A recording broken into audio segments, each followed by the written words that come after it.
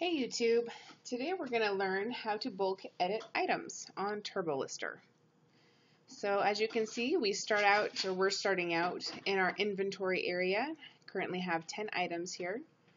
And let's say that I want to change the shipping information on all my items. Now the thing you need to keep in mind with TurboLister is that you can only edit like with like. So if I were to highlight all of my items because I want to bulk edit them and I click the edit button, I'm going to get an error because I don't have the same format selected. So instead, I'm going to go ahead and just select auctions. I'm not going to include the fixed price with this. Click edit. What this is going to do is bring up like a universal change window. Any changes you make within this window will apply to all of the highlighted items. Now, one of the things you may notice straight away is that under title it says multiple values.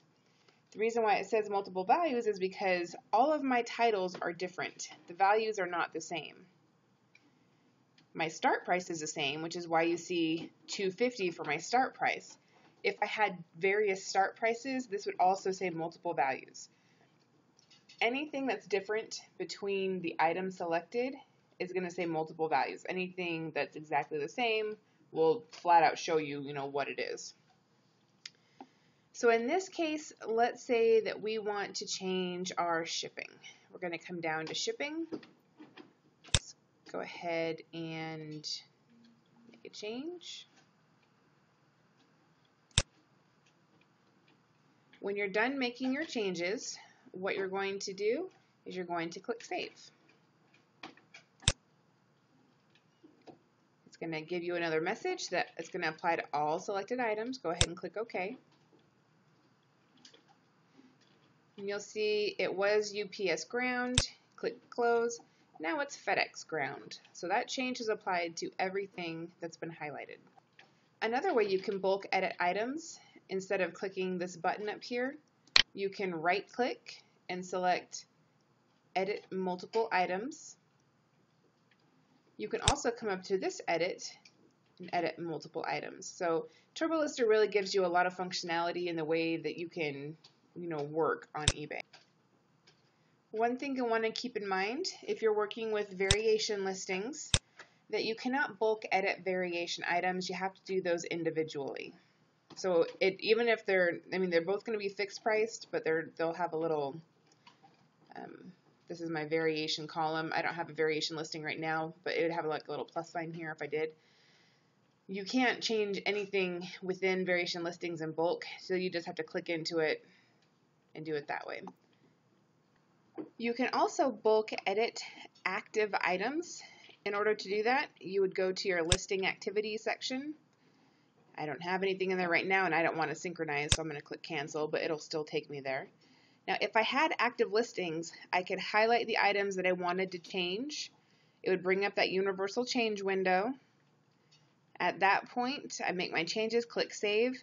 There'll be a little flag over here, and that's when you highlight or hover over the flag, it's going to say that there are pending changes. Now, when you're making changes to active listings, you have to synchronize to push that change out to your eBay listings. So what you're going to need to do is you always want to synchronize first to populate what you have currently on eBay to your listing activity section. You're going to make your changes and save. Then you're going to synchronize to push that change back out. So it's always synchronize, change and save, synchronize.